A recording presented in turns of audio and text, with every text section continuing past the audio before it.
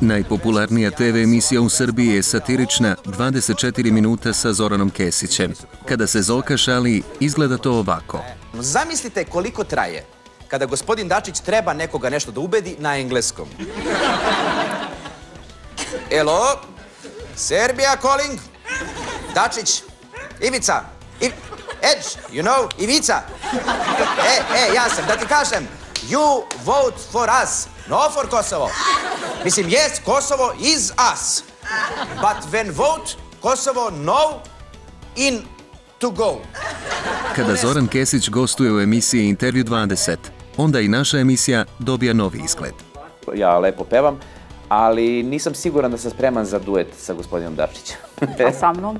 Sva, s tobom uvek. Pa hajde, da vidimo kako ti to lijepo pjevaš. Koju? Pa, koju hoćeš. Pa hoćeš Miljacku? Evo, hajde Miljacku. Evo.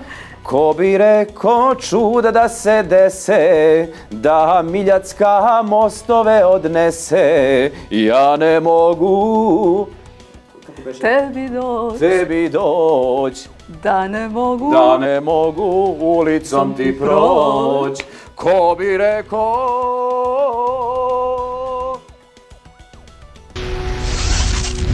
Dakle, savjet svim sljedećim gostima ove emisije, ako imate izbor da kleknete ili da pevate, na kolena.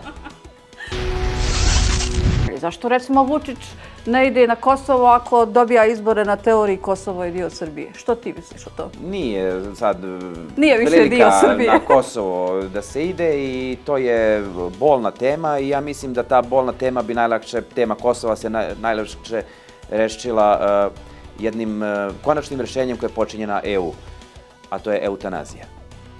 To je eutanazija, dakle bezbolno to potpisati šta se traži, ali da se ne bi sad pravila neka gužva oko tog tužnog čina, pripremiti e, pred eutanazione radnje, dakle pobrisati sa YouTube-a sve izjave uh, i patike dajem Kosovo ne dajem, evo ženu Kosovo nikad i onda ako neko i primeti da Kosova više nema, ništa nije sporno jer nikad nismo ni rekli da mora da ga ima, sjajno!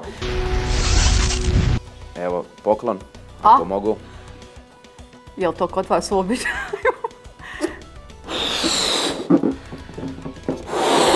Samo da pukne, molim te.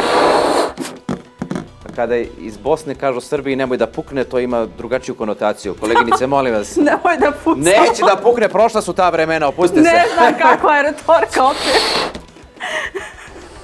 Uz naš novi slogan Duvaj Srbijo, poklanjam ovaj balon crveno na radost. Kad smo izduvali na raznim poljima, bar da se podsjetimo da ima nas još uvek koji volimo da naduvavamo. Nećeš ono da korečiš, ne moraš, malo. Eto. Hvala ti lijepa, Zorane. Hvala tebi. Srijeda u 21.10.